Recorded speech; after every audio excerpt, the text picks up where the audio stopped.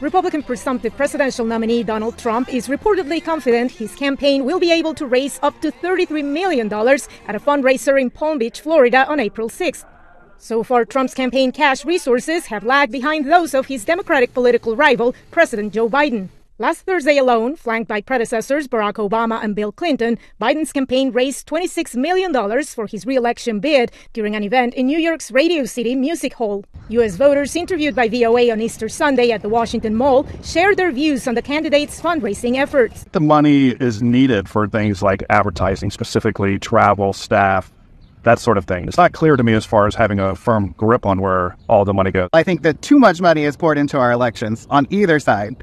Um, I think that we need to cap the amount of spending that we're doing on elections. The candidates' messaging and strategies need some work, says U.S. student Dana Boggs. I just don't see any importance in how anyone is running their campaign right now. Actions would definitely be more important to me than any campaign. While visiting New York City last week, Trump focused on the importance of fighting crime.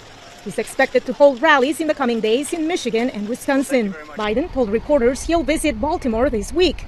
His attention has been forced to shift from the campaign trail to the recovery efforts in Maryland after a cargo ship crashed into the Francis Scott Key Bridge on Tuesday. Maryland's Governor Wes Moore appeared Sunday on CNN's State of the Union and called the accident, quote, a national economic catastrophe, as supply chains could be disrupted as a result. And so the reason that we need people to move in a bipartisan basis and move in a fast basis is not because we need you to do Maryland a favor. Maryland needs no favors. We need to make sure that we're actually moving quickly to get the American economy going again because the Port of Baltimore is instrumental in our larger economic growth.